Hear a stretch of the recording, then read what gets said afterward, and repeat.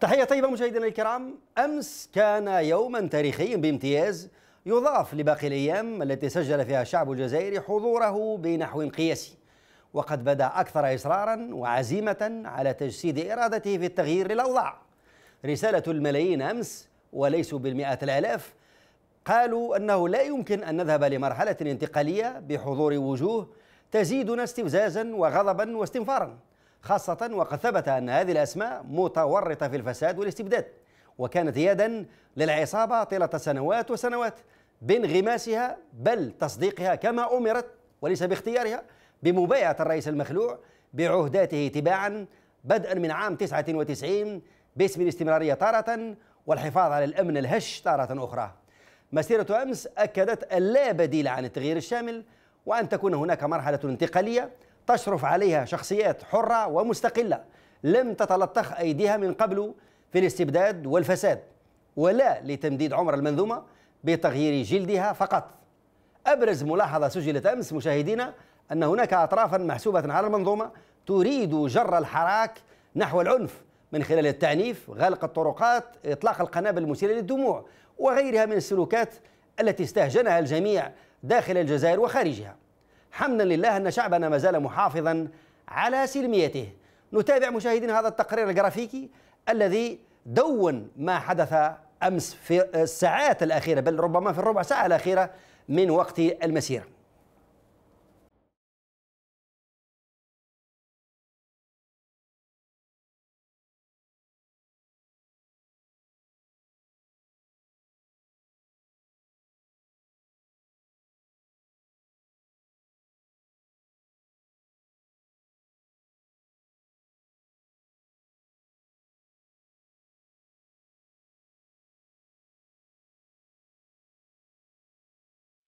راكو حابين تقلبوها راكو حابين تقلبوها راكو حابين تقلبوها علاه خسارة علاه خسارة علاه إحنا محبسين وبقى حابسين إياه واحد ميتين ارحم يماكم علاه صايب ساعة سلمية صايب صايب صايب ريح.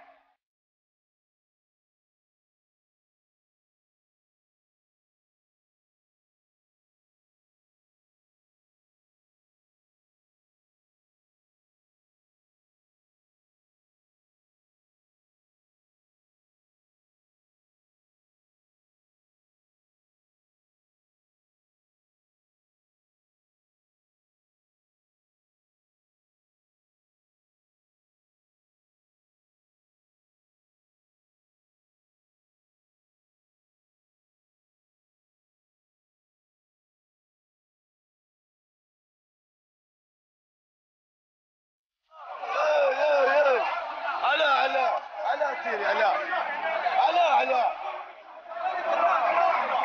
علاء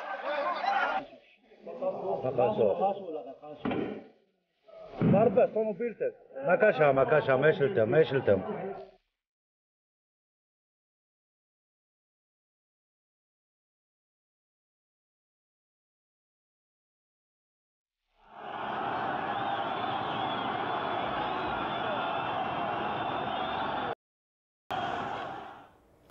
أجدد التحية لكم مشاهدينا الكرام. آه، نرحب بضيوفنا من أساتذة ومحللين. سيرافقوننا في إثراء النقاش حول ما حدث أمس بالإضافة إلى محاور أخرى ستأتي في حينها. نبدأ بالأستاذ محمد هادي بريم القاضي السابق ورئيس نقابة القضاة سابقا. معنا من الجزائر بالإضافة للأستاذ عبد الله هبول المحامي والناشط الحقوقي. نبدأ بك أستاذ محمد هادي. هل هي محاولة لتعنيف الحراك وجره للعنف كنت أقرأ بيان مديرية الأمن يتحدث عن أجانب مجموعة إرهابية كانت تخطط لاستهداف سلمية المسيرات حديث عن ضبط تجهيزات حساسة كميات معتبرة من العقاقير المهلوسة. آه، الهويات عندهم محددة أن هؤلاء أجانب لكنهم لم يكشفوا عنهم. يتكلمون عن متآمرين يريدون استهداف السلميين من الأطفال والتلاميذ والأشخاص وما إلى ذلك. بعبارة أخرى نظرة سوداوية في هذا البيان الكثيرون استهجنوه وقالوا هذا لم يحدث.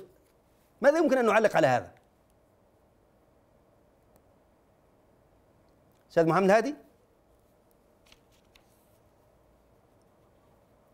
يبدو أن أستاذ محمد الهادي ليس معنا. معليش أحول السؤال أستاذ عبد الله هبول المحامي والناشط الحقوقي أستاذ عبد الله سمعت لسؤالي؟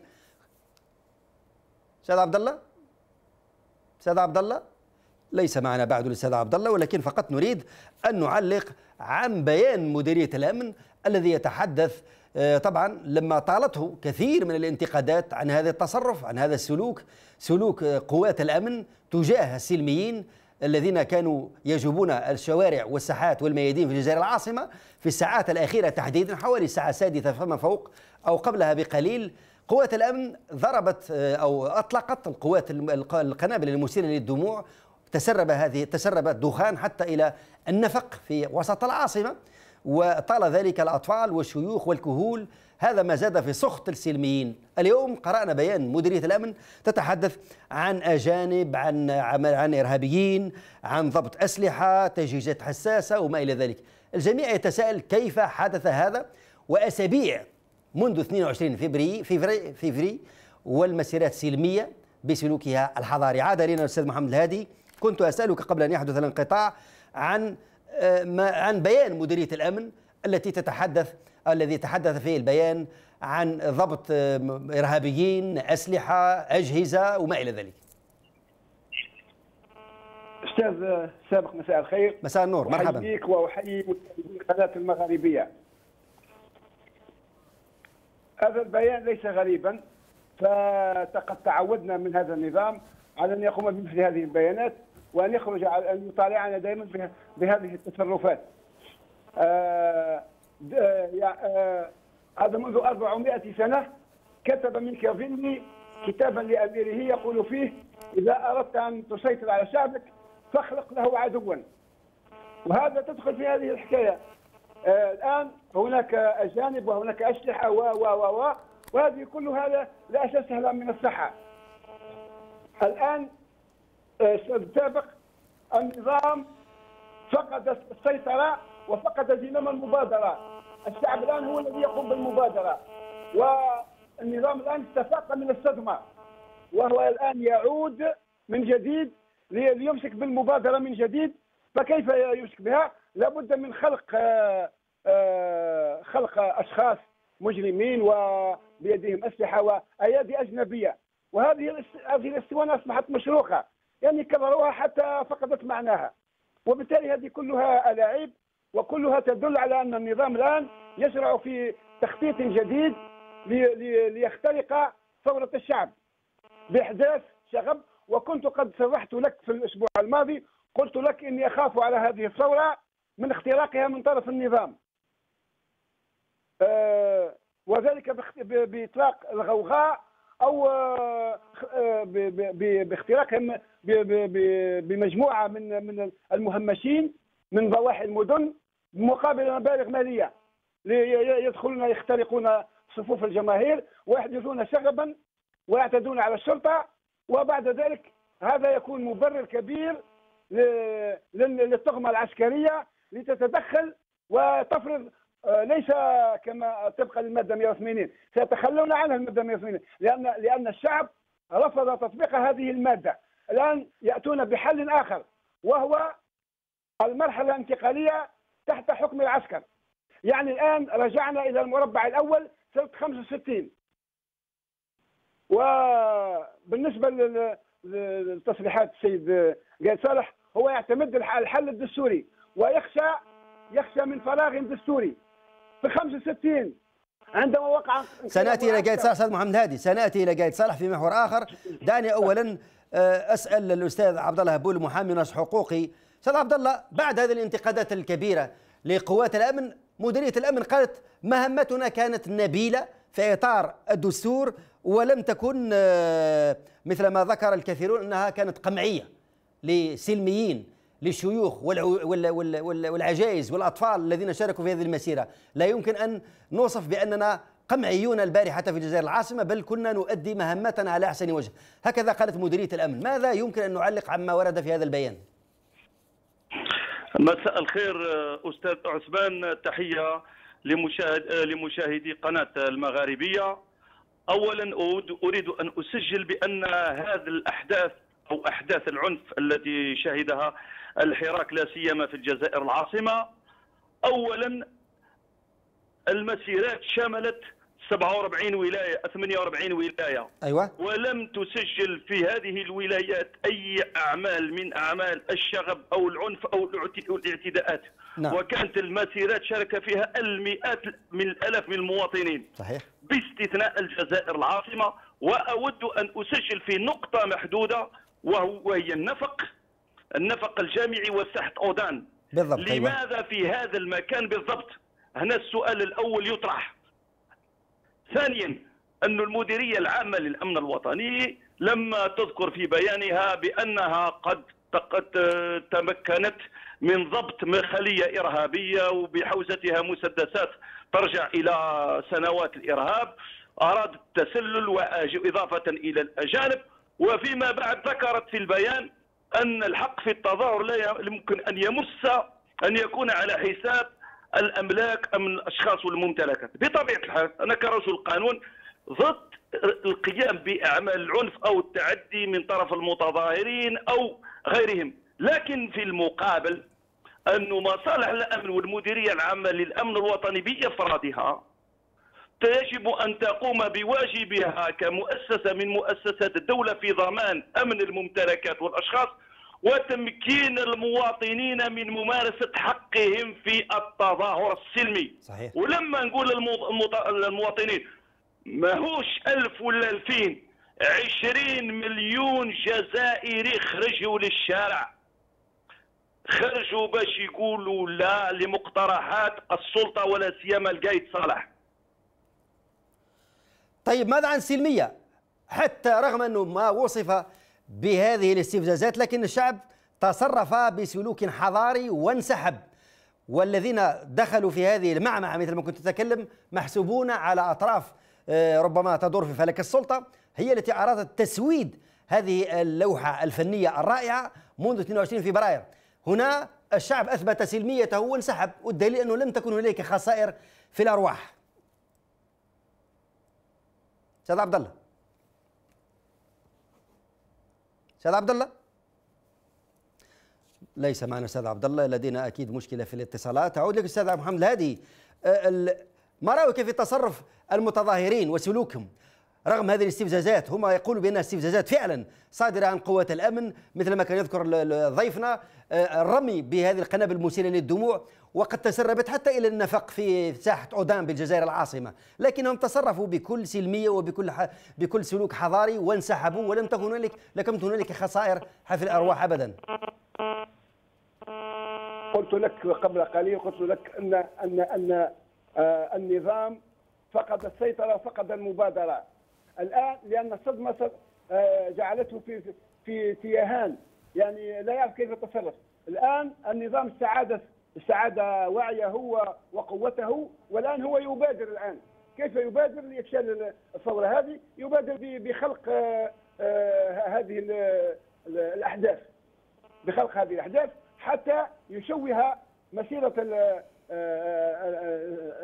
الجماهير وحتى يخلق مبرر للتدخل مستقبلا. يعني بدعوى المحافظة على أرواح الناس والمواطنين والمحافظة على النظام العام أيه. سيتدخل بدباباته أو أنه سيفرض مرحلة انتقالية تحت حكم العسكر وسنعود إلى المربع الأول. يعني هذا ما هذا ما ما يريده النظام. نعم ترى أن المسألة ربما لديها أبعاد لديها ما بعدها تريد أن تقول أنه هذا تمهيد ربما لإشغال الحراك بنفسه ربما إيجاد مخارج أخرى له. أم ماذا؟ تمهيد لما هو آتي هناك أحداث أخرى ستأتي من طرف النظام لماذا؟ لأن لأن جرب اقترح المادة 102 في غير موضعها واحتكم إلى الدستور والقضية ليست تتعلق بالدستور القضية سياسية ويجب أن تحل سياسيا الشعب قام بثورة نكس الدستور ونكس الرئيس ونكس الطغمة العسكرية. كلهم الآن خارج خارج الميدان. علي على على الطغمة العسكرية. إن كانت إن كانت لها ذره حب لهذا الوطن أن أن ترضخ لحكم الشعب وتنفذ ما يريده الشعب. والشعب يريد دولة ديمقراطية اجتماعية طبقا لمبادئ أول نوفمبر. والشعب يرفض أن يبقى كما كان من الحظيرة إلى المرعى. الشعب يرفض أن يبقى دائما من الحظيرة إلى المرعى. نعم. ويعني يخرج في الصباح إلى العشب ليأكل العشب وفي المساء يعود إلى النوم. هذه خلاص مرت 50 أو 60 سنة على هذه الحالة والشعب الآن وعى ويعني و مسك الأمر بيديه. ولا ولم عاد تنطلي عليه آه، آه، آه، ترهات التهمة العسكرية الحاكمة الآن. نعم خليك معنا أستاذ محمد الهادي.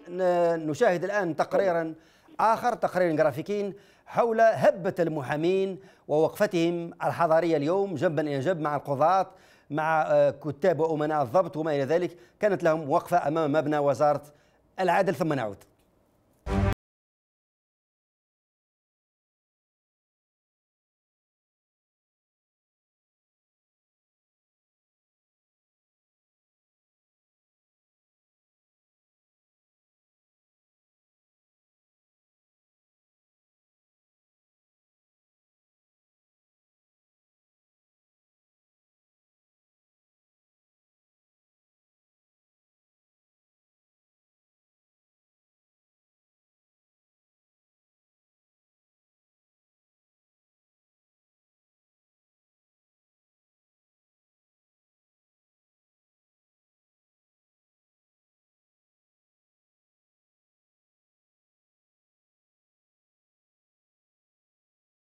أستاذ عبد الله؟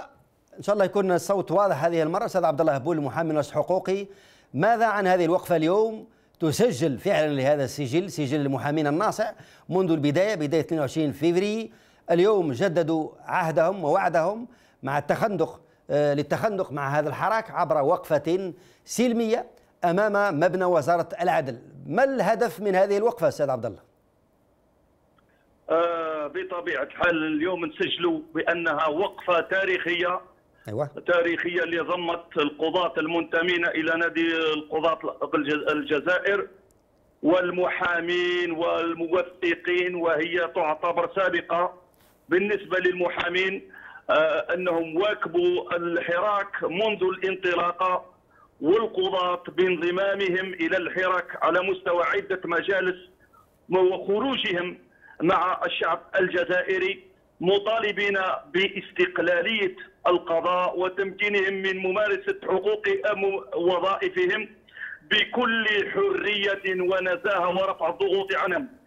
انتقال التعبير اليوم على مستوى على مستوى وزارة العدل أي السلطة المركزية فيه رمزية كبيرة لأنه بالنسبة لنا إحنا في الجزائر ونتكلم لي نتكلم معكم كقاضي سابق أيوة. أنه مصدر الضغوط الأولى هو يأتي من وزارة العدل وليس من جهات أخرى.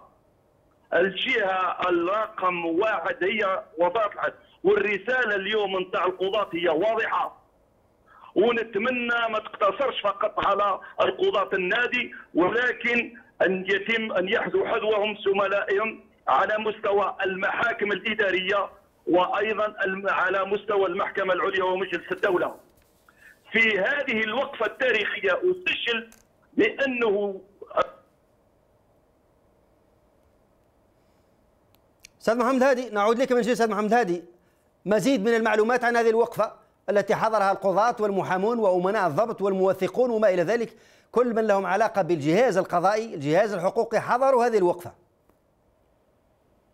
نعم حضرت اليوم إلى تجمع القضاة والمحامين والموثقين وأمناء الضبط وكانت هذه صرخة من القضاة. أيوة. صرخة من القضاة وإعلان عن اصطفاف القضاة مع شعبهم. القضاة يصطفون مع شعبهم والقضاة لم يقوموا هذا لأول مرة. كانت لهم مواقف أخرى سنة 92 وسنة 97 ثم إن القضاة يتذكر المواطنون. أن شهادة الجنسية التي تسلم فورا وكذلك شهادة السوابق القضائية التي تسلم فورا. هذه كانت من اقتراح القضاة والقضاة دافعوا عليها ليتمكن المواطن من استلام شهادة آه، جنسيته وبطاقة السوابق في في نفس اللحظة. والقضاة اقترحوا كثير من الأشياء. اقترحوا تعديل قانون العقوبات واقترحوا تعديل القانون المدني. يعني القضاة كانوا دائما آه، يتحسسون مطالب شعبهم. نعم. ليس من الآن من اليوم. ويطالبون بتنفيذها كانوا يطالبون السلطه التنفيذية بتنفيذها. حتى صندوق النفقة للم- للمطلقات. هذا من اقتراح القضاة. ومرت عليه 20 سنة عندما طالب طالب القضاة ب- ب- ب- بإحداث صندوق آه، صندوق النفقة ل- حتى ي- يساعد يعني حتى لا تبقى ال- النساء والأطفال عرضة للجوع يعني وغير ذلك. وتحت حكم حكم ال- الاب الأب. يعني أن طيب. في صندوق المبالغ تصرف هذا أمر آخر أستاذ محمد هادي. فلنركز فلنركز على الحدث فلنركز على الحدث مع احترامنا لمن نعم. كنت تتحدث عنه. هذا هذا يعني أردت أن اعبر على أن القضاة كانوا يتحسسون على ما جاء بهم وكانوا دائما يقفون في صفه. وكانوا يطردون من القضاء بسبب مواقفهم. على كل بالنسبة لنا القضاة هذه آه هذا موقف مشرف تاريخي. آه، الصوت لا يصل بوضوح. أستاذ محمد الهادي. محمد الهادي سيتصل بك الشباب من جديد لضبط بالضبط الصوت. هنالك خلل هناك مجموعة أصوات اختلطت علينا ولا نسمعك بوضوح. أستاذ عبد الله أعود لك من جديد. هناك التفاته في في في هذا البيان بيان القضاة والمحامين أنه لا يمكن أن يشرفوا على هذه الانتخابات، الجزائريون ليسوا في حاجة للانتخابات، اولا، ثانيا الانتخابات لا يمكن أن تنجح بهذه الوجوه، بهذه الأجهزة، بهذه المؤسسات، ضعنا في صورة هذه النقاط التي ظهرت في هذا البيان بيان المحامين اليوم والقضاة أيضا. بطب... بطبيعة الحال. إيه. آه تم- أتمنى لو ال- هذا الحراك أو المقاطعة لا تقتصر على نادي القضاة فقط أيوه. وإنما أن أن ينضم أن تنضم إليها النقابة الوطنية للقضاة. لماذا؟ لأن القضاة يعطيهم القضاة القانون دور محوري في العملية الانتخابية. انطلاقا من مراجعة القوائم الانتخابية. وث- وثانيا على مستوى اللجان الانتخابية البلدية ثم اللجان الانتخابية الولائية. بطبيعة الحال الانتخابات الرئاسية تتطلب تجنيد أكثر من 2000 قاضي ونتصور لو يقوم هذا العدد بمقاطعة الانتخابات بمعنى أنه سوف يتم إجهاضها بطريقة قانونية بحضريه وسلمية. ويسجل سيسجل التاريخ والشعب للقضاة هذا الموقف القانوني السليم. وفي هذا السياق لملاحظات بخصوص است- استدعاء الهيئة النخبه نعم. من طرف رئيس الدولة المعين. عبد القادر بن صالح المعين وهو أول قرار اتخذه. طيب. هذا القرار تضمن تضمن تعيين أو تحديد يوم الاقتراع 4 جويلية. يوم 4 جويليا وليس يوم الانتخاب لنكون دقيقين جدا. لماذا؟ الدستور في المادة 102 يحدد المدة القصوى أو العهدة الانتقالية ب 90 يوما على أقصى تقدير والقانون العضوي المتعلق بالانتخابات لا سيما المادة 137 وما يليها تفرض أن تكون الانتخابات الرئاسية في دورين والفائز طبقا للمادة 85 من الدستور هو المترشح الذي يتحصل على الأغلبية المطلقة للأصوات بمعنى 50 زائد واحد. يوم 4 جويليا سيكون الدور الأول فقط والدور الثاني سوف يفترض قانونا أن يكون بعد 15 يوم. إيه. بمعنى يوم 19 جويليا والعهدة الرئاسية لعبد القادر بن صالح تنتهي يوم يوم 9 جويليا نعم. بمعنى أن مرسوم استدعاء الهيئة الناخبة مخالف للمادة 136 و137 وما يليهما من قانون الانتخابات. أضف إلى ذلك إذا كان مشينا مع النظام في الطرح نتاعو أنه الانتخابات سوف تكون في دور واحد 4 جويليا بهذا ما يعني أن رئيس الجمهورية القادم راهو جاهز. وراه معروف على مستواهم والانتخابات سوف تكون شكلية. وبالتالي هذا الانتخاب المخالف للقانون في أصله. هذه المخالفة الخطيرة اللي أنا أتساءل كرجل قانون كيف وقعت فيها وزارة الداخلية؟ والوزارة الأولى ورئاسة الجمهورية. هل لا يعلمون أو لا يدرون أن الانتخاب الرئاسي يجب أن يكون في دورين؟ أم أن الأمر متعمد بمعنى أن المشروع في ذهن السلطة أن الانتخاب الرئاسي سوف يكون يوم 4 جون. وإن كان متعمدا فحينئذ سوف نكون طيب. أمام طيب. عملية أو مشروع لفرض رئيس للأمر الواقع معذرة هنا أخاطب القضاة ورجال القانون أنه هذه حجة أخرى إيه؟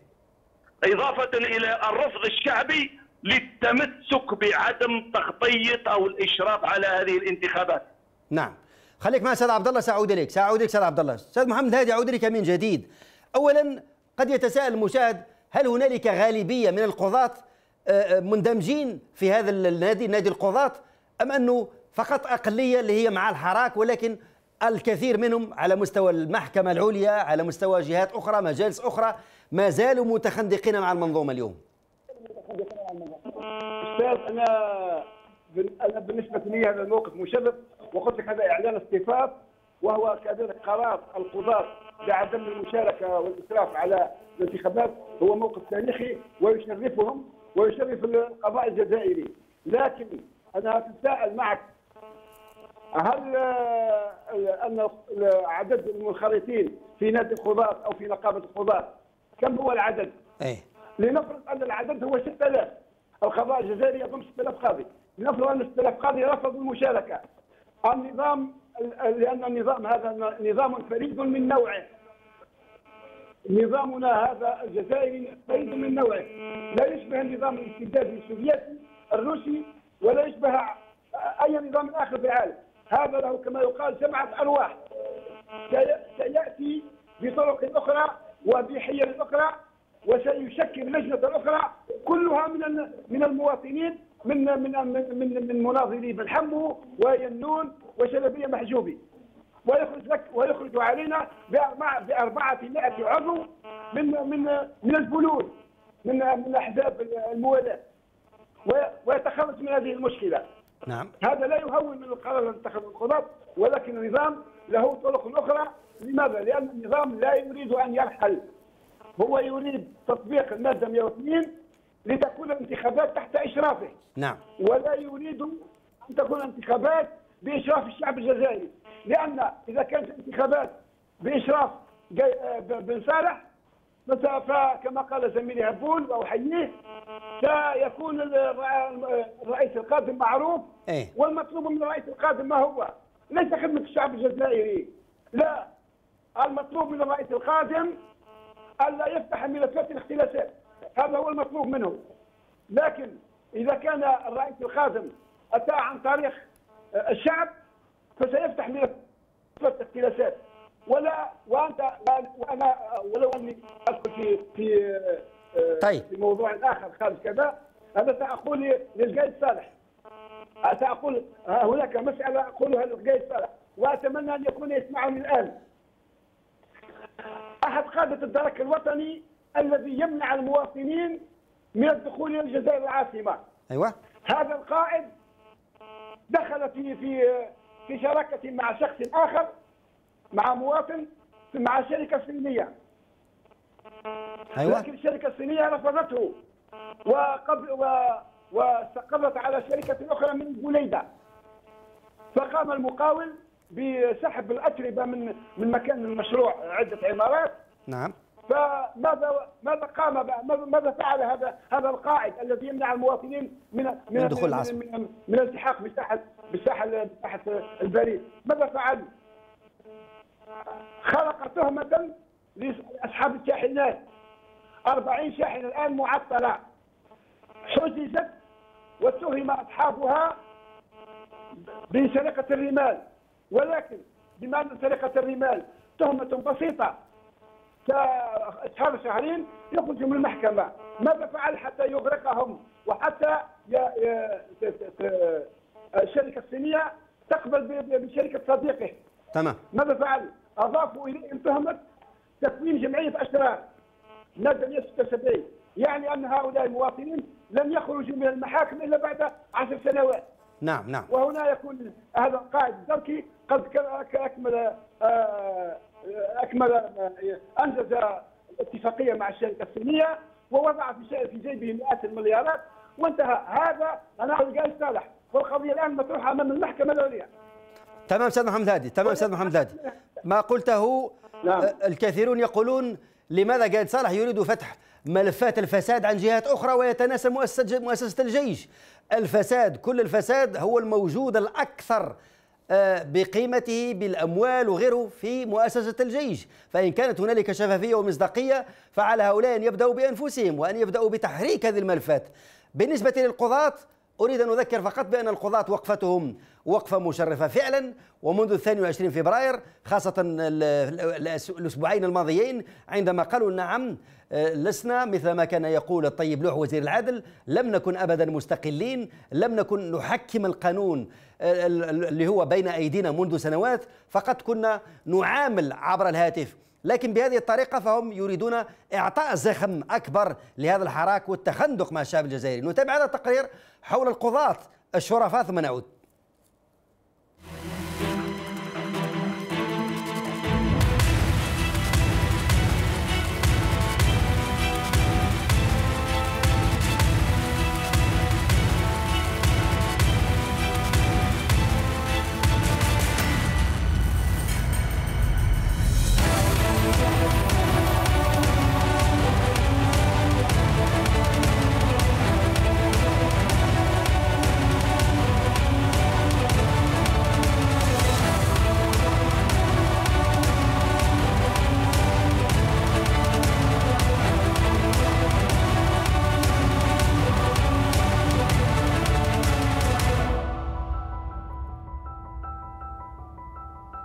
أستاذ عبد الله أعود إليك من جديد. هم يقولون من نافلة القول نتحدث عن الانتخابات.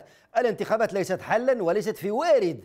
الأزمة اليوم الأزمة أعمق وأكبر بكثير. ولكن في الوقت نفسه يتساءلوا وأنت أجبني كيف يمكن إجراء انتخابات تحت قيادة الطيب العيس رئيس المجلس الدستوري ورئيس الحكومة بدوي وكذلك بو شارب رئيس برلمان؟ كيف يمكن أن تجرى الانتخابات تحت قيادة هؤلاء الثلاثة المرفوضين شعبيا؟ يا أستاذ عثمان. نعم. هؤلاء المسؤولين الذين ذكرتهم ذكرتهم لي الشارع منذ عدة أسابيع وهو يرفضهم والشعب الجزائري يرفضهم ولا يريد رؤيتهم. هذا من المفروض لو كان في حد أدنى من الأخلاق لقدموا الاستقالة استقالتهم. لكن إصرارهم على التمسك بمناصبهم ومسؤولياتهم هذا يدل بأنهم لا يعيرون للشعب الجزائري ولا لطلباته ولا لرغباته أي اهتمام بل ليسوا هم في خدمة الشعب الجزائري بل هم في خدمة السلطة الفعلية التي مكنتهم من الوصول إلى هؤلاء إلى هذه المناصب. أنا لما أنا أعود وأقول أصلا أن هذه الانتخابات غير قانونية. نعم. بفعل مخالفة المرسوم استدعاء الهيئة الانتخابية للقانون. أول خطأ قانوني وسياسي قاتل يرتكبه رئيس الدولة المؤقت عبد القادر بن صالح وبدوي الوزير الأول ووزير الداخلية. أما إذا تكلمنا عن المجلس الدستوري أعود إلى القرار الخطير اللي اتخذه يوم 13 مارس لما قرر أن يحفظ ملفات المترشحين للانتخابات الرئاسية التي كانت مقررة يوم 18 أبريل. هذا القرار غير قانوني أيضا وجاء لشرعنة الانقلاب الذي قام به الرئيس المخلوع بوتفليقة يوم 11 مارس لما قرر إلغاء المسار الانتخابي. من يقرر شرعنة؟ أو إيصاء الشرعية على الانقلاب. ليس هو أهلا للثقة على الإطلاق لأن يقوم أو يسير هذه الانتخابات اللي هي في أصلها مرفوضة لأن مطالب الحراك الشعبي واضحة أن يرحل هؤلاء الأشخاص لأنهم رموز النظام وأن تدخل الجزائر في مرحلة انتقالية.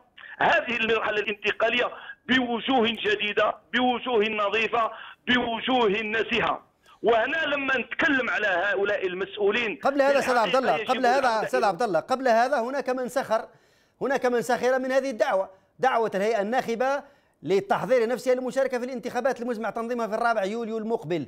ولكن هذه الهيئة الناخبة حوالي 22 مليون من الجزائريين يجوبون الشوارع والساحات والميادين عبر الثماني والأربعين ولاية. كيف يمكن دعوة هؤلاء وهم يكرهونه وهم يرفضونه ولا يعتبرون الانتخابات حلا؟ هذه الدعوة دعني أقول لك أن هذه الدعوة جاءت في تطبيق في إطار تطبيق خارطة الطريق التي قررتها القيادة العليا للجيش وأقول أنه من بين النتائج التاريخية للحراك الشعب الجزائري السلمي أنه كشفنا عن أشخاص أو الناس اللي المسؤولين اللي كانوا يسمون باصحاب القرار على مستوى المؤسسة العسكرية. اجتماع سنين افريل 2000 و19 لما نقراو بيان وزارة الدفاع على المسؤولين اللي كانوا حاضرين وحرروه ودفعوا الرئيس إلى الاستقالة. نقدروا نتعرفوا شكون هم أصحاب القرار. نعم. القائد صالح رئيس الأركان قادة القوات قادة النواحي إضافة إلى مديرين أكثر. هؤلاء المسؤولين الذين لا يتعدى عددهم 20 مسؤول على مستوى قيادة الجيش هم اللي راهم يحاولوا يفرضوا خارطة الطريق ويفرضوا إعادة تجديد النظام واللي ما همش حابين يسمعوا صوت الشارع الجزائري. لأنه في حقيقة الأمر بن صالح أو بدوي أو بالعيز هم خدم للسلطة الفعلية. لأن السلطة الفعلية هي التي تريد أن تكرس مسار المادة 102 ومسار المادة 102 الشعب الجزائري كان في الجمعة ما قبل اليوم ما قبل الأمس جمعة الاثنين افريل رفضها رفضا العفو 5 افريل رفضها رفضا قاطعا. نعم خليك مع أستاذ عبد الله خليك مع أستاذ عبد الله. انضم إلى النقاش الآن مشاهدينا الأستاذ يدير دحماني. الكاتب الصحفي معنا أستاذ يدير ماذا عن التخندق الإعلامي أيضا؟ هناك انفتاح إعلامي لا ننكر هذا على الحراك على التخندق مع الحراك ولكن للأسف انتهى التموقع مع الرئيس المخلوع وتحول هذا التخندق إلى أين؟ إلى القائد صالح هناك من الصفحات الأولى من الجزائر من الجرائد في الجزائر من تتحدث عن هذا الحراك وأدى دوره كما ينبغي وقالت بأن هذاك استفتاء تاريخي للشعب الجزائري برفض هذه المنظومة وهناك جرائد أخرى تقول ما هذا العنف الذي انتهت إليه المسيرات؟ هنا تتبين أن وسائل الإعلام في الجزائر تخندقت من جديد جزء منها مع الحراك وجزء أخرى جزء آخر مع القايد صالح. آه، بالفعل هذه هي المعاينة الأولية. نحن كصحفيين لاحظنا في بدايات الحراك. أن آه، الشعب آه، توصل إلى تحرير تقريبا كل وسائل الإعلام المرئية والمكتوبة والمسموعة. لكن في آخر هذه الجمعة ربما الجمعة الفائتة بدأ التخندق كما قلت فعلا وهذه إشكالية قديمة جدا إشكالية العلاقة بين السلطة والإعلام. هذه في حد ذاتها إشكالية قديمة قدم السلطة. ومعقدة ولكن وهذا هو بيت القصيد خطيرة جدا ويجب أن يحتاط لمفعولها السام والقاتل أحيانا. أنا كصحفي لم أذكر هذه الصحف أو القنوات لكن تقريبا كل الشعب الجزائري يعرفها. دور الاعلام الدعائي التابع للسلطة معروف في كل الحروب والنزاعات والخلافات الداخلية والثورات. مهمته بسيطة وخطيرة في نفس الآن. يقصف خصوم السلطة بلا هوادة لكن الآن إلى جانب الاعلام التقليدي هناك حاليا آه، إلى جانب الجرائد والتلفزيون والقنوات التلفزيونية والإذاعات دخل على الخط دخلت منصات التواصل الاجتماعي في كل تقريبا كل شبكات السوشيال ميديا وأصبحت تسمى الذباب الإلكتروني وهي آه، تضاهي في الخطورة الإعلام التقليدي في الأصل آه، اريد فقط أن أشير أنه في الأصل هناك إعلام ينقل المعلومة بأمانة ويقف إلى جانب التغيير نعم. وإعلام دعائي بالضبط. يقف إلى جانب السلطة ويريد بقاء الوضع القائم الذي ال- ال- الإعلام الذي ينقل بأمانة هو إلى جانب الأغلبية الساهقه آه، طيب سيدي دير يا سيدي دير.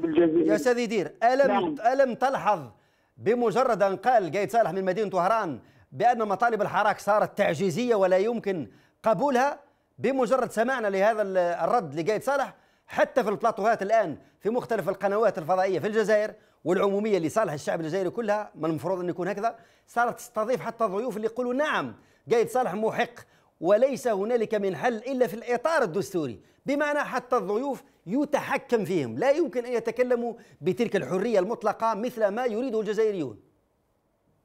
بالطبع بالطبع. هذا ما لاحظناه. وهذا ما كتب على الفيسبوك وعلى شبكة التواصل الاجتماعي. الجميع تفطن إلى ذلك. الجميع يقول أن بدأ نوع من الخوف العودة إلى العهد البوتفليقي آه، الذين كانوا آه، يقومون بدعايات إلى كل ما يقوله بوتفليقه أصبحوا الآن يقومون بنفس المهمة لصالح آه، القايد ولاحظناه من قبل الصحفيين من قبل القنوات من قبل ما يسمى المختصين من قبل ما يسمى المستشارين كلهم آه تقريبا الذين اختاروا أن يتخندقوا مع السلطة كلهم أصبحوا يكررون نفس خطابات القايد صالح و آه، مدح ما يقوله هو والقول أن هذا هو الأصح وأن هذه هي هو الحل الذي يجب أن يقبله الحياة لكن من جهة الحقيقة والحمد لله هناك صحافة تعارض كل ذلك وتنقل صوت الحراك وصوت الشعب الذي هو في الاصل يريد ذهاب النظام وكل أفراد العصابة كل الذين مارسوا السلطه لهذه المدة 20 سنة. لابد أن يرحلوا. هذا نعم. هذا هو المطلب الأساسي والأصل للحراك الشعبي تمام. خليك معنا أستاذ يدير.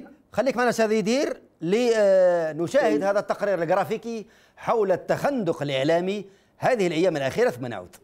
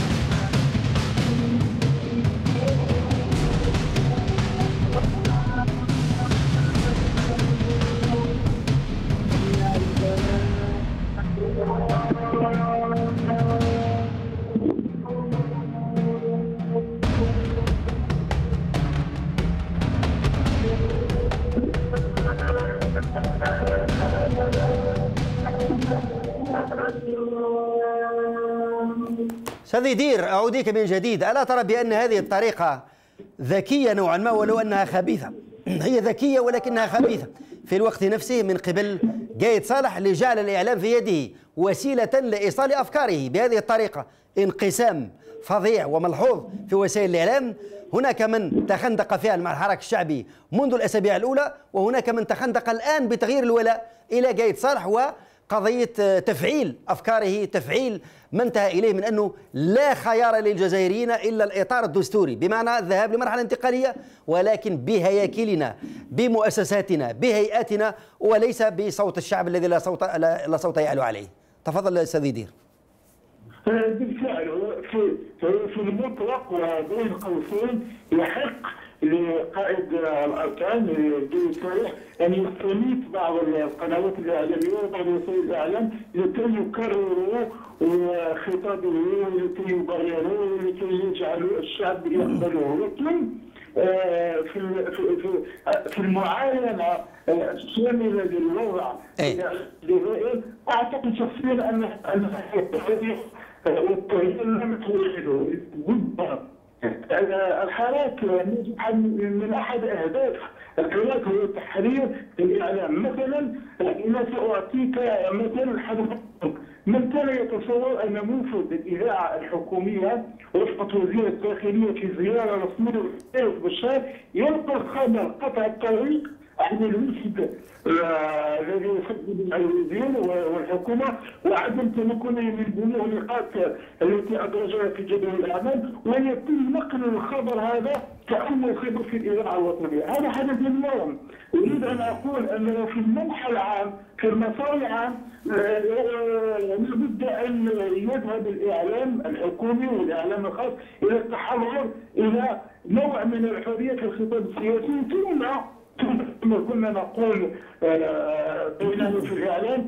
إلى المهنيه والعمل الصحفي الجيد.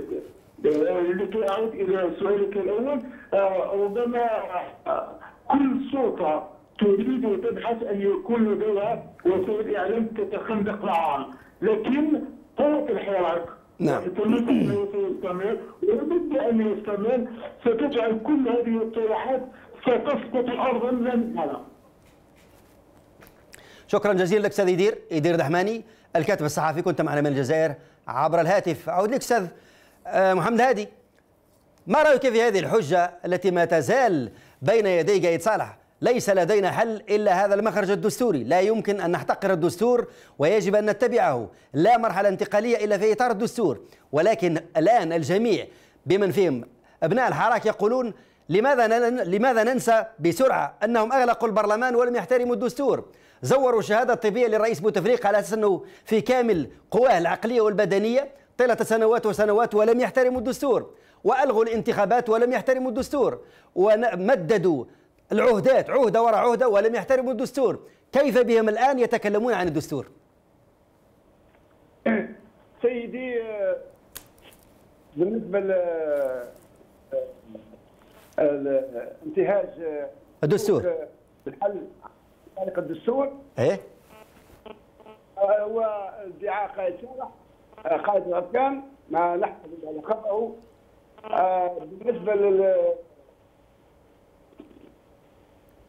والله أنا مرتبط. واصل واصل أستاذ محمد هادي نسمعك نسمعك. نسمع فيك. أنا فهم يريدون فرض الحكم السوري ما قلت لك لأن هذا يمكنهم من المحافظة على النظام برمته البرلمان الشعب الولاة رئيس الحكومة بدوي وكذلك الزملاء العامون الذين آه، نصبوهم كوزراء يعني النظام يبقى بحاله. ومن ثم فسيتحكمون في الانتخابات. أما لو كان الشخص المنتخب جاء عن طريق الشعب فلن يكون هناك تزوير لأن الشعب سيحمي صناديقه ويمنعهم من التزوير. وبالنسبة للحل والقضية هي ليست ليست مشكلة آه، أزمة دستورية. هي أزمة سياسية. أزمة سياسية. بالنسبة هم يخشون أو آه، قايد صالح يتذرع بالخوف من فراغ دستوري.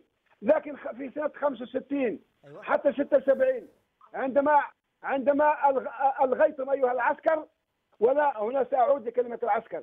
عندما ألغيتم الدستور وحكمتم البلاد بأمزجتكم لم يكن هناك آه، فراغ دستوري في 92 ألغيتم المسار الانتخابي والغيتم المسار الديمقراطي وجمدتم الدستور. ألم يكن في ذلك الوقت؟ ألم نكن في ذلك الوقت أمام فراغ دستوري؟ يعني آه كي يتحرك الشعب. آه فراغ دستوري. ولا كي يتحرك العسكر ما كانش فراغ دستوري. لا هذا مش مقبول هذا. الأزمة سياسية وتحل سياسيا. هذا هو. والأنظمة هذه الدكتاتورية هناك من يضيف. هناك من يضيف قائلا أن الانتفاضات والثورات لما تأتي إلى بلد ما تلغي الدساتير تلغي هذه المجالس على أساس انها دستورية ولكنها ليست كذلك. ولذلك لابد من لحمة جديدة لابد من أرضية جديدة. لماذا يتمسكون بهذه المجالس وهي ليست دستورية ولا قانونية؟ ليست لها مصداقية ولا شرعية. سيدي نحن الشعب الجزائري عندما قام بثورة 54 هل احتفظ بالدستور الفرنسي؟ هل احتفظ بالحكومة الفرنسية؟ لا عندما قام الشعب الجزائري سنة 54 جرف كل شيء. فرنسا وجنودها وحكومتها ورئيسها ودساتيرها وقوانينها. إذا والثورة الإيرانية كذلك والثورة البرتغالية كذلك والثورة الفرنسية سنة 1789 عندما قامت جرفت كل شيء كل ما سبقها. رفضت النظام الفيودالي والنظام الملكي وجرفت كل شيء. وأقامت دستورا جديدا وقامت بإعلان حقوق الإنسان والمواطن. إذا نحن والميزة بين ثورتنا وثورة الثورة الفرنسية الثورة الفرنسية كانت ثورة خبز. أما ثورتنا فثورة عزة وكرامة.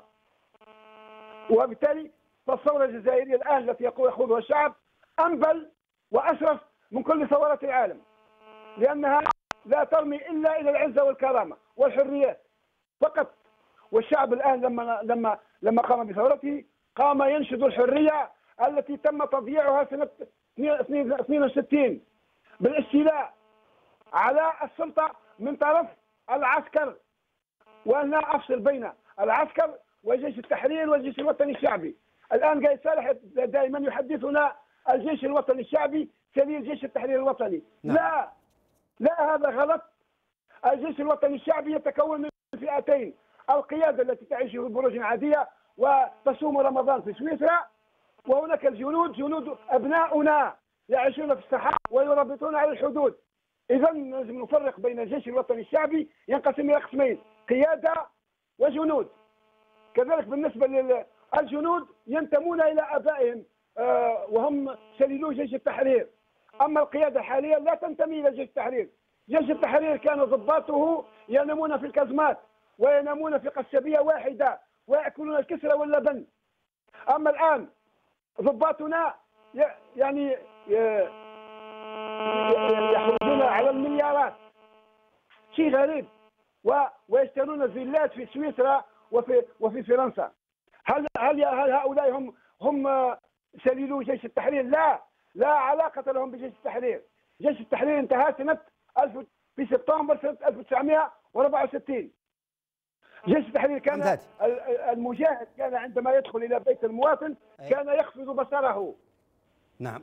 خليك معنا أستاذ محمد هادي وينام في فوق سأعود إليك أستاذ نعم. محمد هادي سأعود إليك. أستاذ عبد الله ما رأيك أستاذ عبد الله؟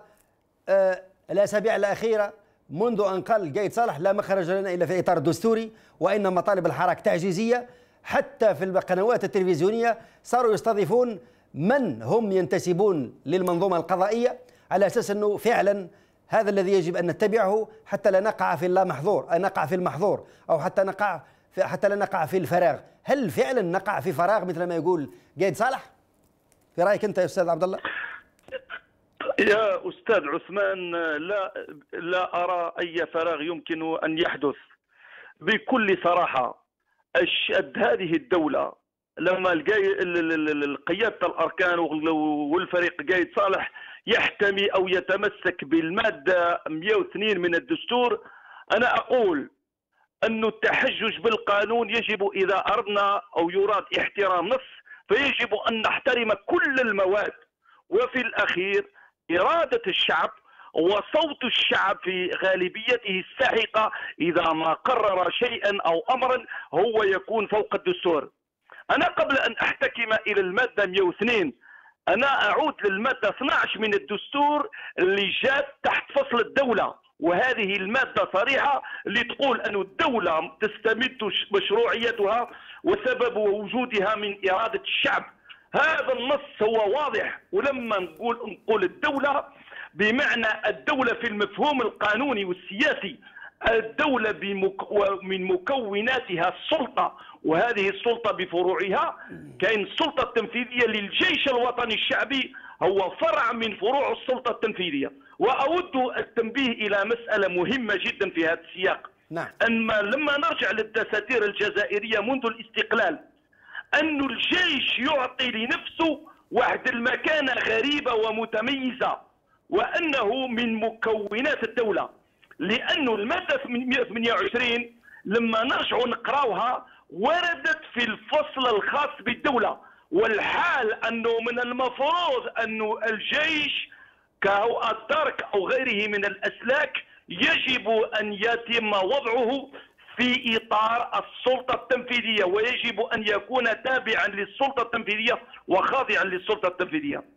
تمسك القائد صالح بالمادة 2 وكلامه عن شو أنه شرط تعجيزي إيه؟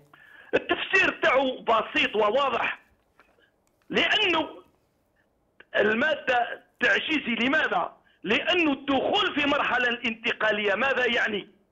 ذهاب القيادة العليا للجيش برمتها في إطار المادة 21 من قانون المستخدمين العسكريين لأن قادة الجيش قادة النواحي والمدراء الذين اجتمعوا يوم 2 أفريل في أغلبيتهم قد تجاوزوا السن القانوني وأن وجودهم واستمرارهم في الاحتفاظ بمناصبهم من بينهم الفريق أحمد قايد صالح ما رجعه المادة 21 من قانون المستخدمين العسكريين الفقرة 2 التي سمحت لهم أو أعطت الحق لرئيس الجمهورية في إعطائهم لما يسمى بامتياز مخالفة السن هؤلاء القادة يعلمون علم اليقين أن دخول البلاد في مرحلة انتقالية استجابة لإرادة الشعب وللحراك طيب. الشعبي سيؤدي تلقائيا إلى إحالتهم على التقاعد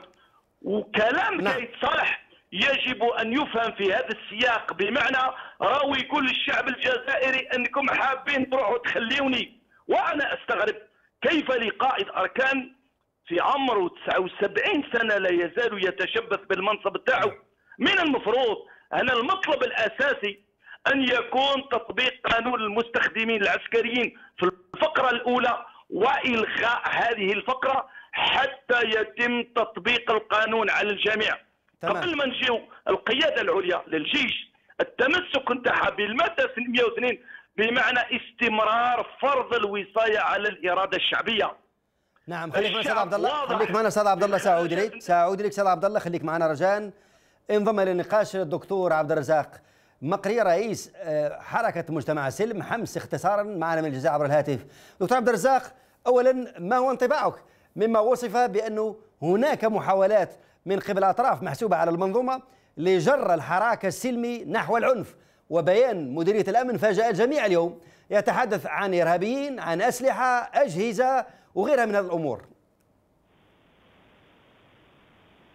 نعم تحية طيبة لك وللمشاهدين. السلام عليكم ورحمة الله تعالى وبركاته. نحن كنا قد أصدرنا بيانا استنكرنا فيه يعني ما حدث من استفزازات للمواطنين. نعم. كما كذلك استنكرنا أي محاولة لاستغلال الحراك آه، سواء سياسيا أو أيديولوجيا أو لأي جهة مشبوهة ما.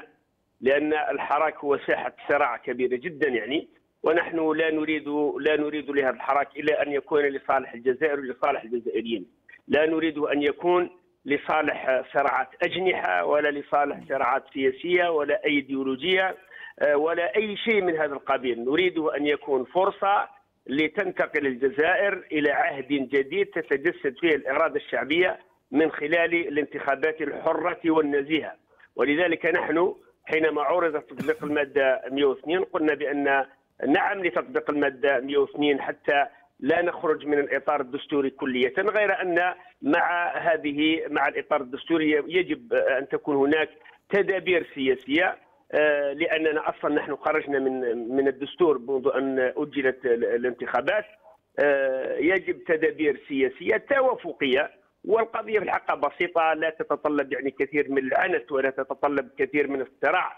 تتطلب فقط الصدق والمصداقية لمصلحة البلد. ال- الحراك آه، مطالبه واضحة ومطالبه بسيطة وليست تعجيزية وهو يطلب فقط ألا آه، يقود المرحلة المقبلة وجوه محسوبة على النظام السياسي أو متورطة في الفساد. نعم. والطبقة السياسية اجتهدت في تقديم الحلول آه، من خلال استقالة آه، تغيير رئيس المجلس الدستوري ثم يستقيل بالصالح ورئيس المجلس الدستوري الجديد يكون يرضى عنه الحراك وكذلك غير متورط في الفساد وغير متورط في التزوير وعندئذ بإمكاننا أن ندخل في حوار آه، آه، لتشكيل الهيئة الوطنية ال- ال- المستقلة لتنظيم الانتخابات وكذلك ما يتعلق بالتعديلات الأساسية في قانون الانتخابات خاصة ما يتعلق بها الهيئة الناخبة وندخل في تدابير سلسه لنحقق انتقال ديمقراطي سلس بعيد على الحسابات وبعيد على صراعات الأجنحة وصراعات المصالح والصراعات السياسية والإيديولوجية. ولكن بدا للجميع دكتور عبد الرزاق بانه المنظومة ليست لديها لا نية ولا إرادة في قبول ما يطالب به الشعب وهم اليوم بالملايين وليسوا مئات الآلاف وهؤلاء الباقون الآن في الواجهة هم بإعاز من قايد صالح. لا يمكن لبدوي أن يبقى لو لم يأمره قايد صالح بالبقاء والكلام نفسه لبن صالح الذي رفضه الشعب وأشبعوه سبا البارحة في مختلف المسيرات عبر الوطن ورفضوا بقاءه. ماذا يعني هذا؟ عدم سماع صوت الملايين وحتى الرئيس الجديد هذا المنصب دعا هذه الهيئة الناخبة للملايين الجزائريين وهم في الشارع مثل ما لاحظت مثل ما لاحظت البارحة، كيف يمكن دعوة الهيئة الناخبة وهم في الشارع يرفضون بن صالح؟ المبادرة الآن في يد الشعب الجزائري نعم. الجزائريون اليوم في الشارع بالملايين ب 22 مليون آه، جزائري والجميع سيخضع لإرادة الجزائريين الجميع سيدرك بأنه باننا نعيش مرحلة جديدة وأن الجزائر ما قبل 22 فبراير ليست الجزائر ما بعد 22 فبراير وفي آخر المطاف الجميع سيخضع للإرادة التلقائية للإرادة الوطنية الصادقة للشعب الجزائري وستكون ولا بد أن تكون هناك وجوه جديدة نعم. لتسيير المرحلة آه، الانتقالية مهما اتفقنا عليها حينما ندخل في الحوار سنتفق على الفترة الانتقالية وعلى آليتها. تكرم بالبقاء معي دكتور عبد الرزاق سأعود إليك بعد لحظات نشاهد الآن هذا التقرير مشاهدينا الكرام ثم نعود.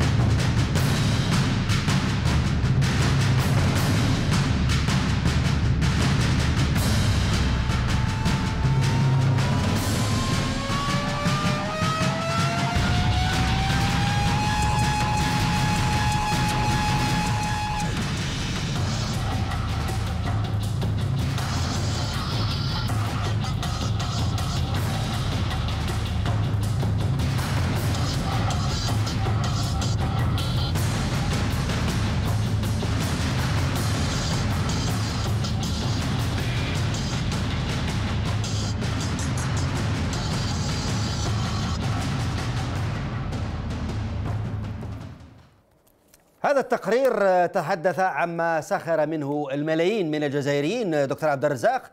عندما تحدث وزير الخارجية الجزائري عن دعوة السودان الشقيق إلى انتقال آمن وسلس انتقال ديمقراطي طبعا للسلطات في السودان.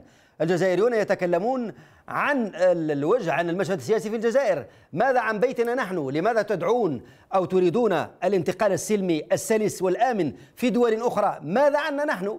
ونحن نتظاهر منذ الثاني والعشرين فبراير. كيف نرد على ما قاله وزير الخارجية الجزائري؟ أه، نعم. أه، نحن أه، الآن الحدث الكبير هو موجود في بلدنا. أيوة. ونحن نستطيع أن نساعد أشقائنا سواء ليبيا أو أو الصومال أو أو تشاد حينما نتماسك وحينما نستطيع أن نرص الجبهة الداخلية ونحقق انتقالنا السلمي السلس اليوم اليوم هناك طرفان أساسيان آه، في ميزان القوى الجهة من جهة الشعب الجزائري آه، بالملايين ومن جهة أخرى المؤسسة العسكرية. إلى حد الآن لا توجد خصومة حقيقية بين المؤسسة العسكرية وبين الشعب الجزائري ونحن ندعو أن تبقى هذه العلاقة بين الشعب وبين المؤسسة العسكرية والا نحمل الشعب أكثر مما يطيق. الاستجابة للشعب الجزائري هي التي تبقي هذه العلاقة هذه العلاقة الضرورية لاستقرار البلد الضرورية لأمن البلد. نحن نعتبر بأن آه، ما يحدث في آه، في غرب ليبيا هو تحرش بالجزائر وهو تهديد للجزائر. ما حدث كذلك ولكن لهجة قايد صالح تغيرت يا دكتور عبد الرزاق المطامع الفرنسية في الجزائر لهجة نعم. لهجة قايد صالح تغيرت الآونة الأخيرة والشعب الجزائري ذاكرته قوية نعم. عندما عندما تكلم عن أصوات نعم.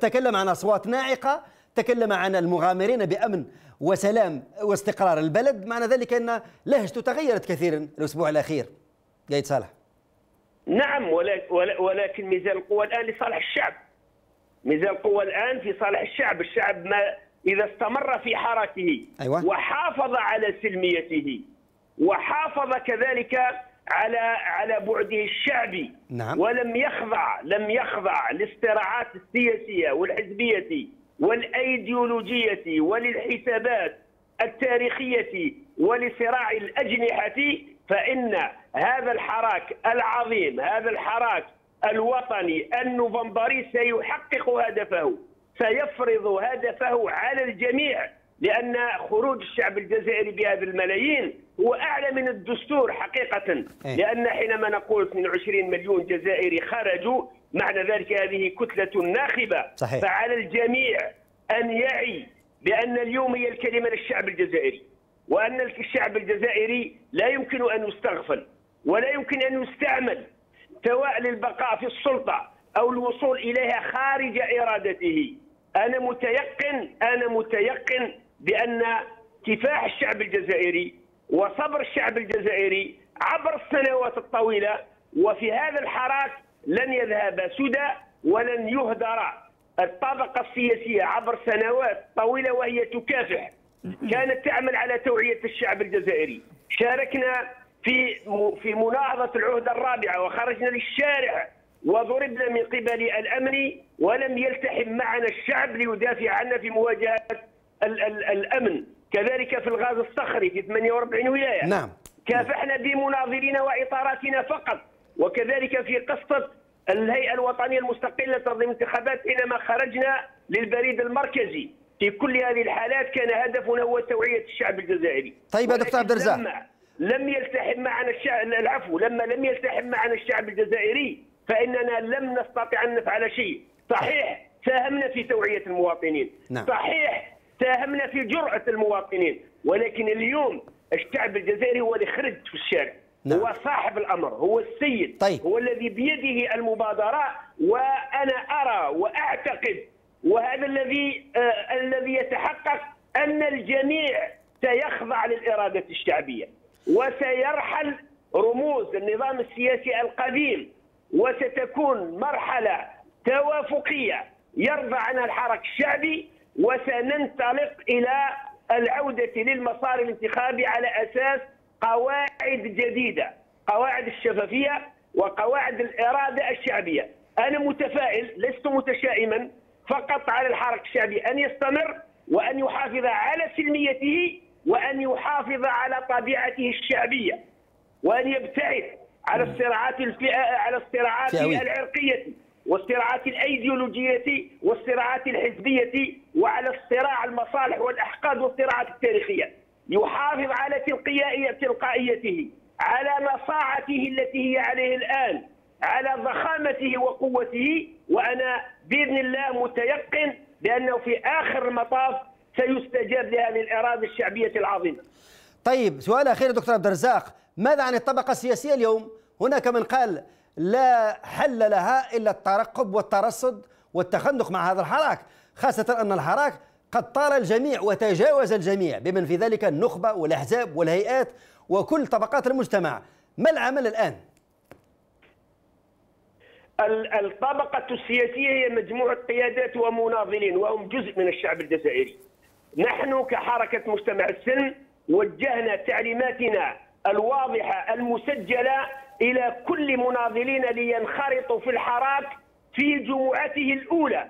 وأنا شخصيا نزلت مع قيادة الحركة في 22 فبراير ولم ينزل أي حزب سياسي أي رئيس حزب سياسي آخر في 22 كنا القيادة الحزبية الوحيدة التي نزلت في 22 وكذلك سرنا في مختلف الجمع إلى اليوم ومناضلون جميعا عن بكرة أبيهم موجودين في الساحات في كل الولايات ومساهمتهم ساهمتهم مشهودة ويعرفها الجميع طيب. ولكن المتفق عليه الا نتصدر الحراك والا نعمل على احتوائه والا نفرض فيه مطالبنا الحزبية وشعاراتنا نعم. وأن نكون جزءا من الشعب والحمد لله هذا هذا الشيء قد نجح وحقق نجاحه وساعد الحركة على الالتحام. وسط الشعب نحن كل جمعة مع الشعب في قلب الشعب ولكن لا نتصدره اليوم. واضح. الحراك يجب أن يبقى شعبيا ونجاحه لأنه شعبي ولن يستمر في النجاح إلا إذا بقي شعبيا تلقائيا. تمام يا دكتور عبد الرزاق. شكرا. جزيلا لك دكتور عبد الرزاق مقري رئيس حركة مجتمع السلم حمس كان معنا من الجزائر عبر الهاتف. وطالما الحديث عن جمعة أمس جمعة الحسم نلقي نظرة عن هذه المسيرة وسط العاصمة ثم نعود.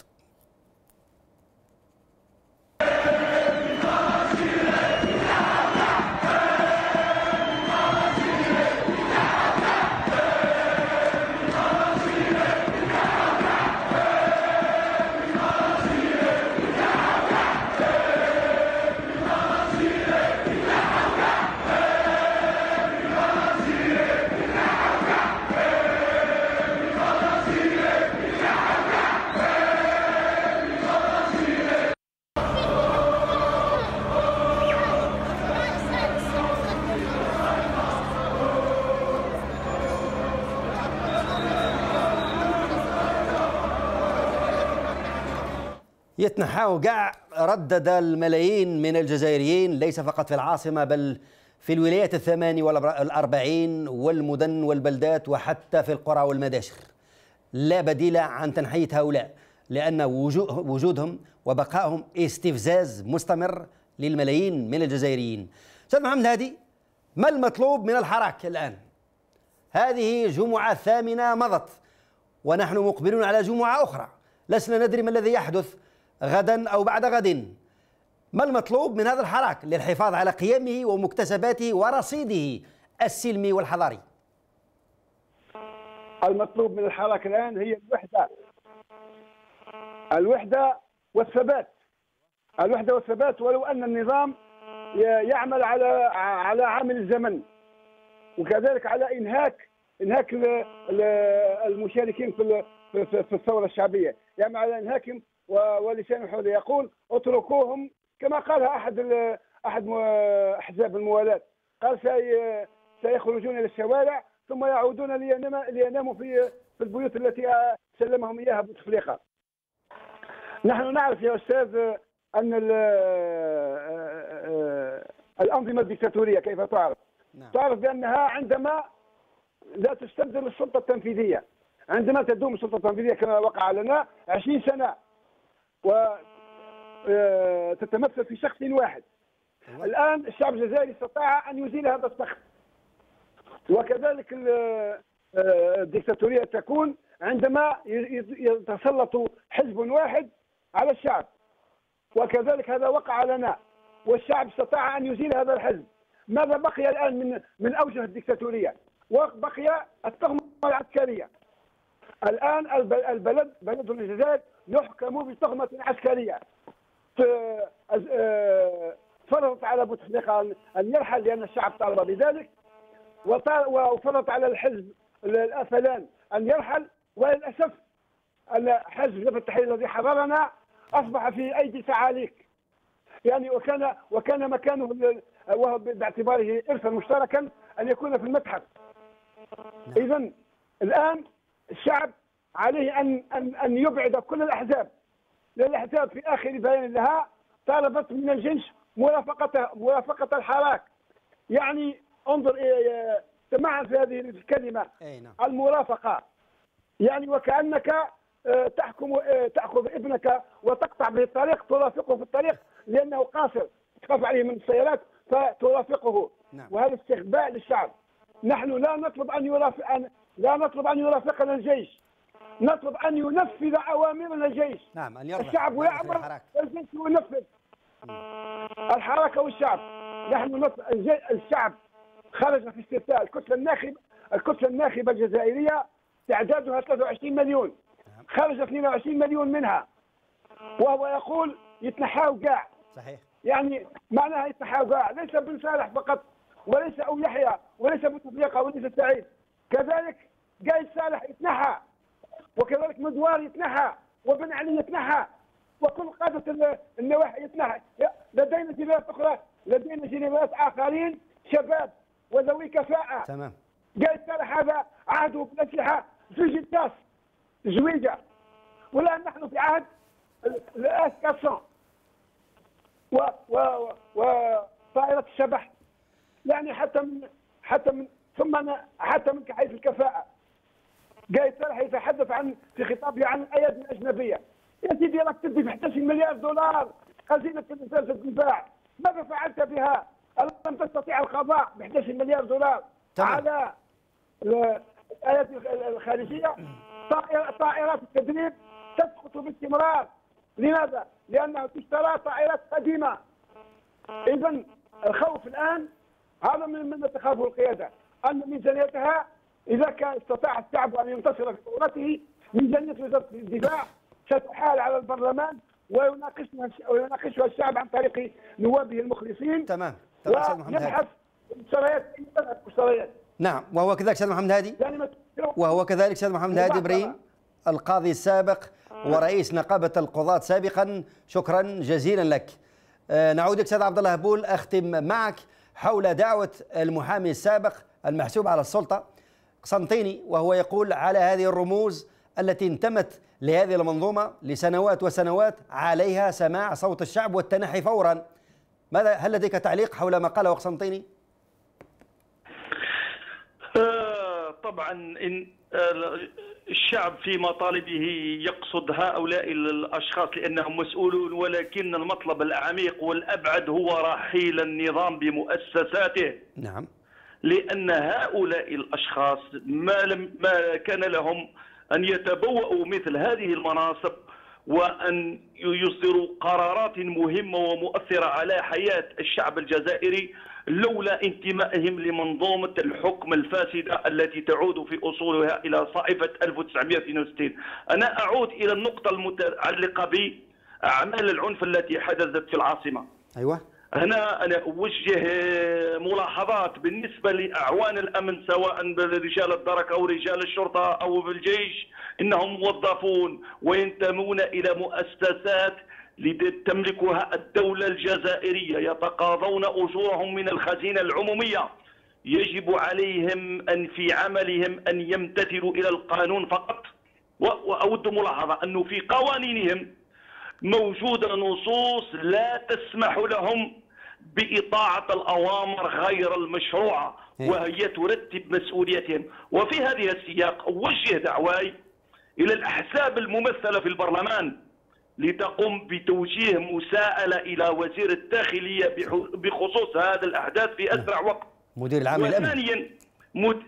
المد... الوزير الداخلية بطبيعة الحال لأن المديرية أي. العامة للأمن تقع تحت وصايته ثانيا أن المديرية العامة للأمن في بيانها ذكرت أطراف أجنبية بطبيعة الحال أنه مثل هذه الأحداث سوف تؤدي إلى فتح تحقيقات وإعداد محاضر ويتم تقديمها إلى رجال القضاء.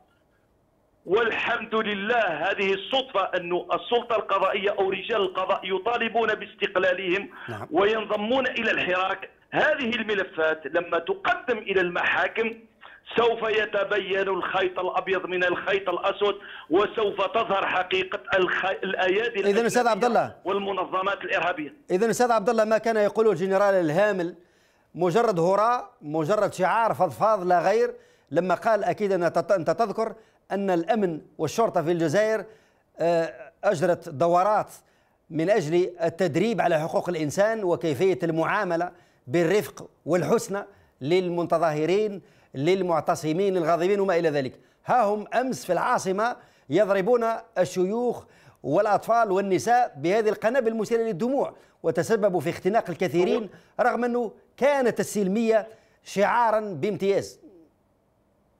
هو في حقيقة الأمر أنا أذكر كلاما ل- أو عبارة مشهورة للمدير العام السابق للأمن الوطني وهو استعماله لكلمة التسيير الديمقراطي للجماهير. أيوة. la gestion démocratique des foules وهذه العبارة جاءت على في خضم أحداث الربيع العربي وأحداث جونفيل 2011 ما حدث؟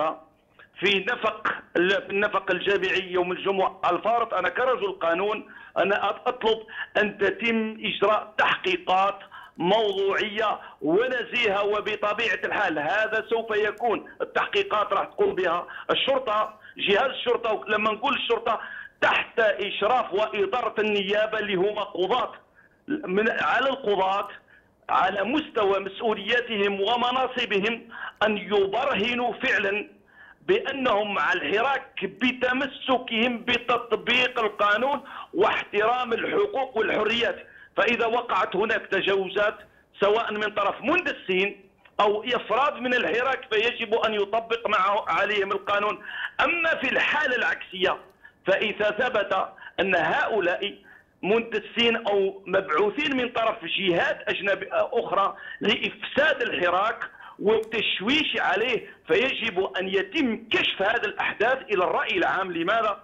في هذا السياق المادة 11 من قانون الإجراءات الجزائية تفرض على النيابة العامة إزاء هذه الأحداث النائب العام لدى مجلس القضاء الجزائر أن يصدر بيانا توضيحيا إلى الرأي العام طيب. ولا نكتفي ببيان المديرية العامة للأمن الوطني بمعنى ربما تريد أن تشير و... أستاذ عبد الله تريد أن تشير أيضا إلى مسألة التدوين والتسجيل لكل هذه التجاوزات لأنه غدوة لما ترجع الكلمة فعلا للقضاء النزيه والمستقل سيتابع هؤلاء لأنهم لم يطبقوا القانون ومارسوا هذه التجاوزات في حق مدنيين وسلميين تظاهروا بكل سلمية. لا بطب... أستاذ عثمان بطبيعة الحال ليس هنا القانون يفرض ما دام أن مسؤوليه الدولة بواسطة الأجهزة الأمن هو الحفاظ على الأمن امن الاشخاص والممتلكات وتمكين المواطنين من ممارسة حقوقهم وحرياتهم ومن بين الحقوق الأساسية أو الحريات الأساسية هو الحق في التظاهر السلمي للتعبير عن إرادة المواطنين أو الشعب الجزائري. مسؤولية الدولة عن طريق مصالح الأمن اتخاذ كل التدابير والإجراءات اللازمة حتى يتمكن المواطن الجزائري من ممارسة هذا الحق في كنف الهدوء والطمأنينة. ما وقع من أحداث. يجب القانون يفرض على أجهزة الأمن إعداد محاضر لأننا أمام جرائم. بيان المديرية العامة للأمن الوطني في خضم الأفعال يوسفها تعتبر جرائم والقانون في هذه الحالة يفرض أن تتم إعداد محاضر تحقيقات وتحريات وأن يتم إلقاء القبض على الأطراف المشبوهة والأشخاص المشبوهين نعم. وإحالتهم إلى القضاء. هذا بالإضافة أن كل المتضررين أو الأشخاص المتضررين أو المتظاهرين السلميين المتضررين في حالة ما إذا لم تلبى متطلباتهم أو إذا أحسوا أو شعروا بأنهم مظلوم فأبواب العدالة مفتوحة صحيح. أبواب القضاء مفتوحة والقضاة رفعوا شعار الاستقلالية والابتعاد عن الضغوط فيجب أن يبرهنوا على ذلك بحماية الحراك السلمي لأنه لا توجد أفضل حماية من الحماية القانونية والقضائية. العصا لا تكفي لأن العصا في مؤخ... في محصلتها هو إعداد محضر تقديم الموقوفين إلى جهاز العدالة. نعم وهو كذلك يا أستاذ عبد الله. هذا نقدر نقولوا أمام دولة نكونوا أمام دولة القانون. أود أن أختم كلمتي أن أتوجه إلى القيادة العليا للجيش وعلى راسها أحمد قايد صالح. أيه. أتمنى أو أرجو من القيادة العليا للجيش أن تستمع إلى صوت الشعب. نحن هذا الجيل يريد انتقال سلمي سلس للسلطة على القيادة العليا للجيش. أن تسلم السلطة للجزائريين أن تعيد الدولة للجزائريين لأنه ما أخذه جيش الحدود وما كرسه بومدين بانقلابه في 56 لا يمكن أن يستمر هذا الوضع. يجب أن تنتقل الوصاية من قيادة الجيش إلى الشعب. الشعب الجزائري الحر تمام سيد عبد الله هو الذي يفرض وصايته وإرادته على الجميع. وهو كذلك سيد عبد الله. شكرا جزيلا لك سيد عبد الله بول المحامي والناشط الحقوقي. وشكرنا موصول لباقي ضيوفنا الكرام الذين شرفونا بإثراء النقاش في حدث اليوم الأستاذ محمد الهادي بريم القاضي السابق ورئيس نقابة القضاة سابقا الأستاذ إيدير دحماني الكاتب الصحفي دون ما ننسى الدكتور عبد الرزاق مقري رئيس حركة مجتمع السلم حمس اختصارا نختم الآن مشاهدينا الكرام بمشاهد حضارية سلمية رائعة لمدينة برج بوعريريج ولاية برج بوعريريج الذين سجلوا رقما قياسيا في الحضور أمس وقبل حتى الجمعة الأخيرة. آه، وبعد ذلك نعود لتلقي اتصالاتكم.